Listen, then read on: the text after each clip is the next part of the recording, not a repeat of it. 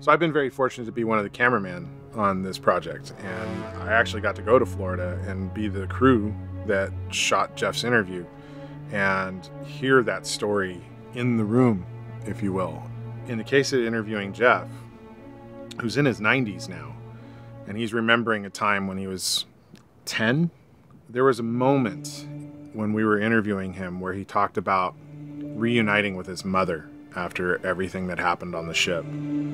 And the emotion on his face was so palpable and so deep, and it really resonated with myself. Um, I lost my mom four years ago, and all I have now are memories. And to watch another human being living out his own memories and sharing that with us was incredibly powerful and very special and, and, and a privilege that I hold very dear to be able to hear his story in person and in the context of the movie to know that we've recorded those emotions for posterity that we've established this opportunity that people will have to also feel those emotions with him it's a unique way of experiencing history to actually see a human being feeling their emotions.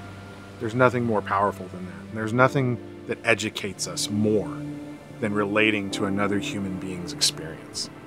And it's fantastic that we've had the opportunity to do that with this.